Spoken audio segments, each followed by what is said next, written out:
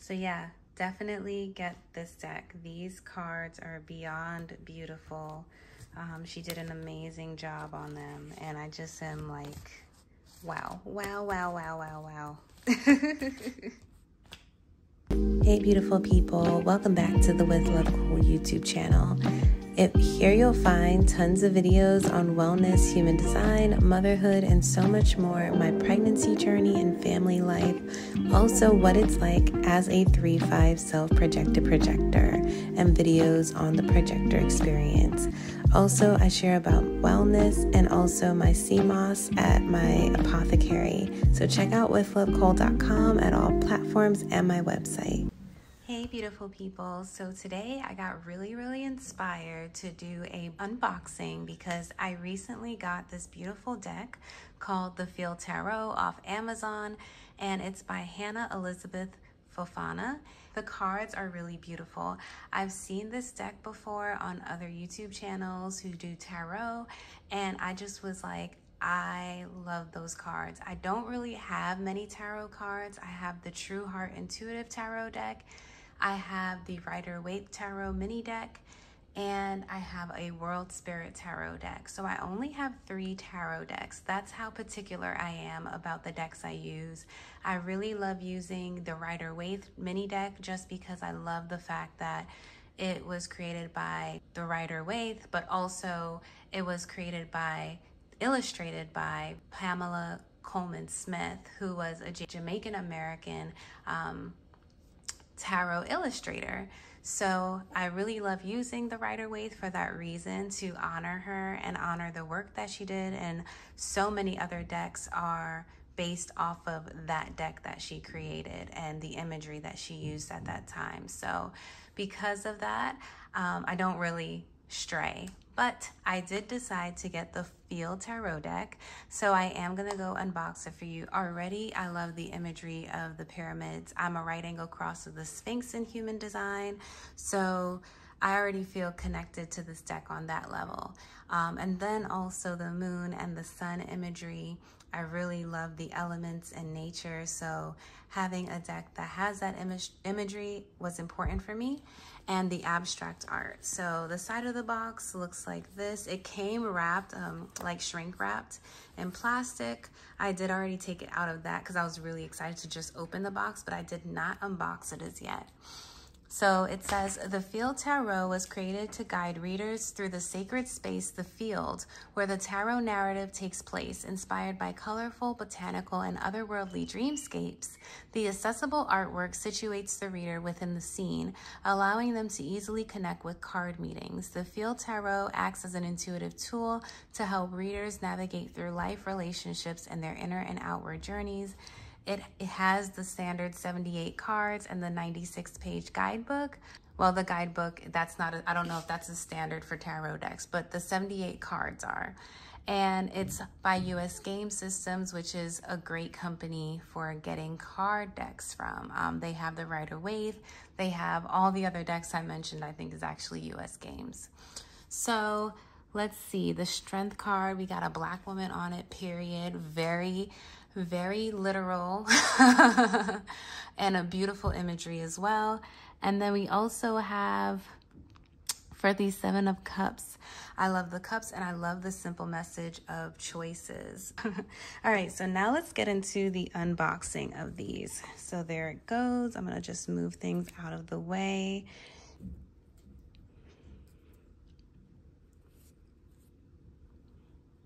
Feathers are a beautiful omen, and it also is a great way to bring ancestors or your guides into the space. And then I figure might as well use my beautiful sage and get this thing going over the cards because when you are using a new deck of cards, you do want to cleanse the energy from where you got it. And especially if it's Amazon, it could have been sitting in the warehouse.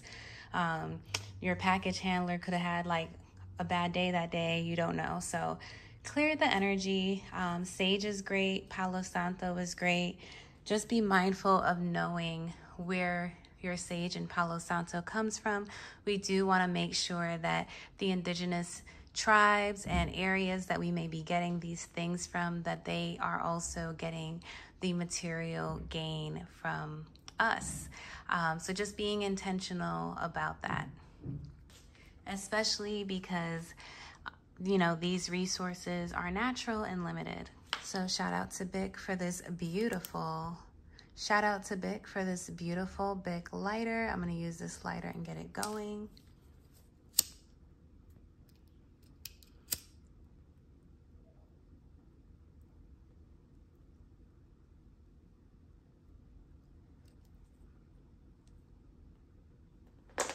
So I'm going to actually cleanse the deck in the box. You can put it three times.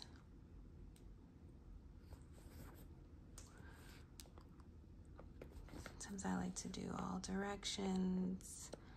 And I'm doing it intuitively right now, just because, hey, why not? So this sage is pretty loud. I put the sage out. We have the box here. So let's open the deck and see what's inside.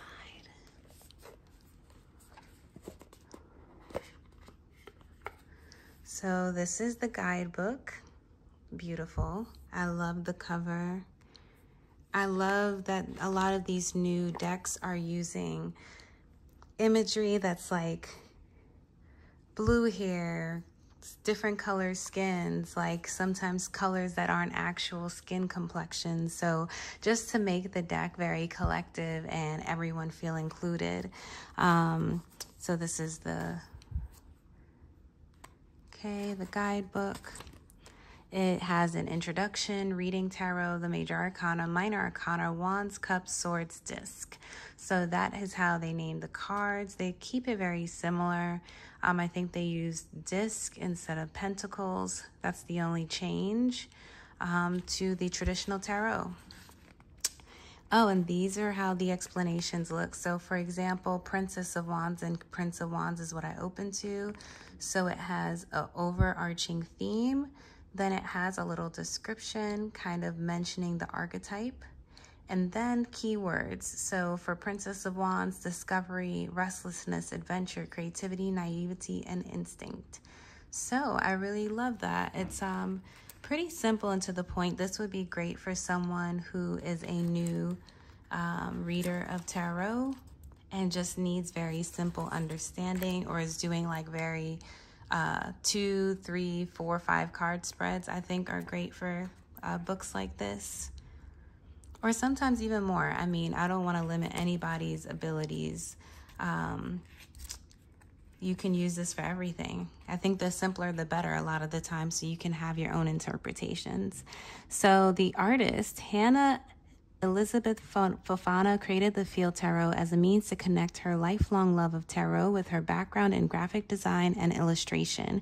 She has spent her career moving between agency, corporate, and freelance design settings, but has always strived to make time for creative projects on the side.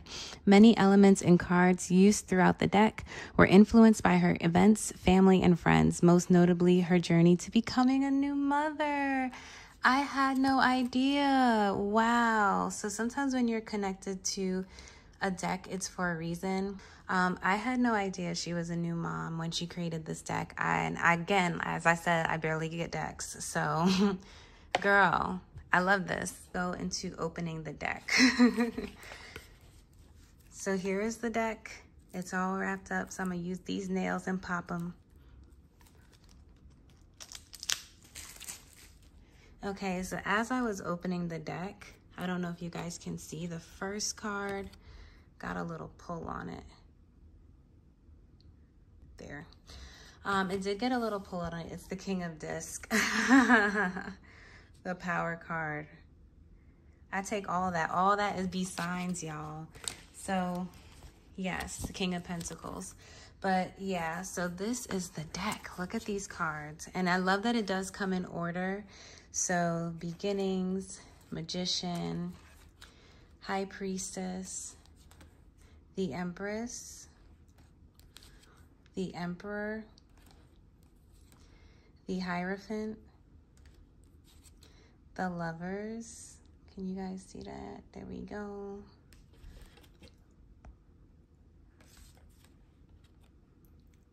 The chariot, Justice, the Hermit, Fortune, Strength, Perspective, Death. So some of the words, the names are changed for the major arcana, so it probably is sim it is similar to the minor arcana in that sense. Temperance, the devil. The devil card's beautiful. Why is it hidden like this? That is really beautiful. A lot of these images are just very simple, which I love. Like she doesn't really complicate it. Look, the tower with the lightning strike in the back and then space and beautifully designed. The star card. Wow. The moon. This is the cover art of the deck, well, of the guidebook. And then the sun. Judgment. The universe. And I'll give you one minor arcana. I don't want to show her whole deck so you guys get the cards, but the first card of the minor arcana is the Ace of Wands, energy. Do, do, do, energy. Do, do, do, do. so, yeah, wow. I will show you guys glimpses. Now I'll show you guys glimpses of some of the other cards that are in the minor arcana, but this is just for your reference of like how she shows the different numbers and the suits. So wands, we see that wands, yeah, like that, wands.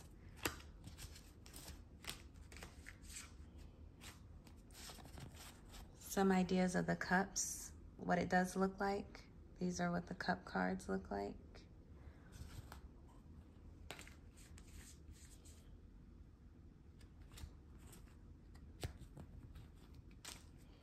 Okay, she gagged me with this card. Why is this card so beautiful? Princess of Cup Dreams. Look at that dress.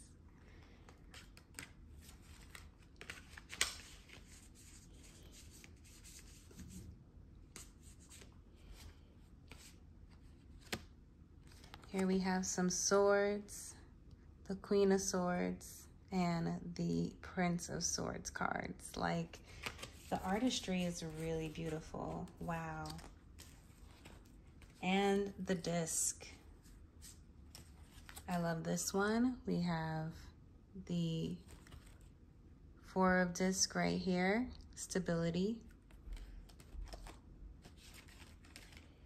Seven of disc right here. Perseverance. And it looks like the chakras. I love that, that the discs are actually circles and it's not necessarily, um, yeah. I like that it's, that she uses different colors of circles and it's not just one shape or like one imagery. Um, that it just, oh my goodness, looks different. Stained glass circles, five of disc. And you know that this still, this card still has elements of the Rider, Rider Waite because the Rider Waite often de depicts stained glass in church and maybe like depression or confession. So yeah, the, the fact that she kept that element is really dope. All right, so these are really some beautiful cards. I'm really happy to have unboxed it in this way and just capturing it in, in real time. Um, but yeah, definitely get this deck. So yeah, definitely get this deck. These cards are beyond beautiful. Um, she did an amazing job on them. And I just am like, wow, wow, wow, wow, wow, wow. you know what? I am actually going to do something really fun. I just boxed it away, but I'm going to do a one card pull from this deck as a message for everyone who's watching this video. see. So I'm just gonna do a quick shuffle. Ooh, first card that flew out over here. We have, ah, the sun card. Beautiful. So let's see what the message says for the sun card in the Field Tarot deck. This is such a beautiful image. The book. And I opened right to it. Wow. So it says, the sun represents the light at the end of the tunnel. Its positive, joyous rays of energy flow and bring warmth through the cold. The future is bright and everything will be right, all right, as you overcome your personal hurdles with confidence and strength.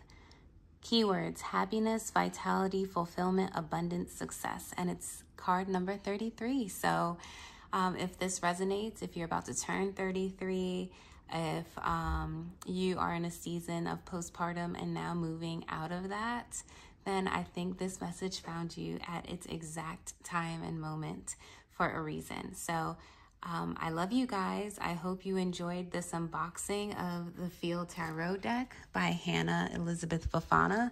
And she is the illustrator, but I'm sure she also wrote the book. So this whole deck is by her. And she did an amazing, beautiful job. And as you guys, many of you may be mamas or people who are thinking of birth, this may be a great deck to gift to someone who has had a baby is going through a season of postpartum or is also just going through any life change and likes really pretty, beautiful tarot decks because that's exactly what it is. Um, so I love you guys. I'm going to link this deck down below for you guys. I'm also going to be using it when I do my pick a card videos and intuitive messages. So I hope you guys love it. And also let me know your thoughts on the deck, on the unboxing, not on my nails. We know what they look like. Thanks. Bye. And you made it this far, so I think you'll like my other videos, so you might as well subscribe.